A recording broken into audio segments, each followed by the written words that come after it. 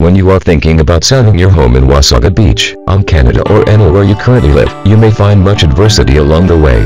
If you are new to the home marketplace, there is much to consider and it can all overwhelm you quite easily. No matter what, selling or buying a house is not an easy endeavor to venture into.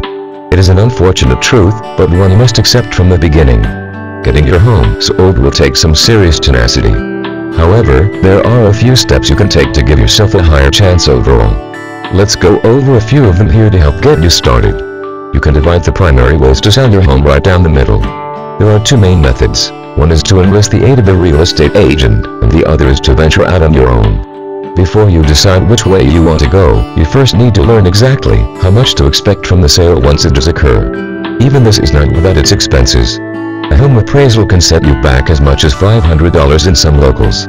It seems steep, but it is absolutely necessary to ensure that you do not ultimately settle for far too less in the long run.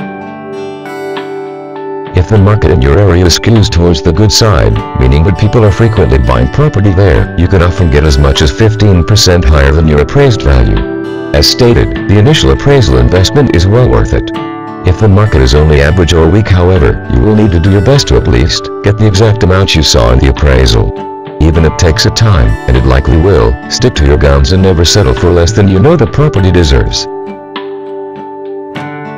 Next, get your home's interior inspected to uncover any potential problems such as water damage. These unseen issues can immediately bring the value of your home down. You will want to invest in fixing these problems should they exist. From there, if you can still afford it after the renovation and consultation costs, you may as well enlist a real estate agent. They will need to take a cut, of course, but it is far less stressful to put the whole deal in the hands of another. It will take more time and potential headaches, but you can also ultimately sell the property yourself if you stick it out long enough. However you go about selling your home, the end result will usually be well worth all of the hard work.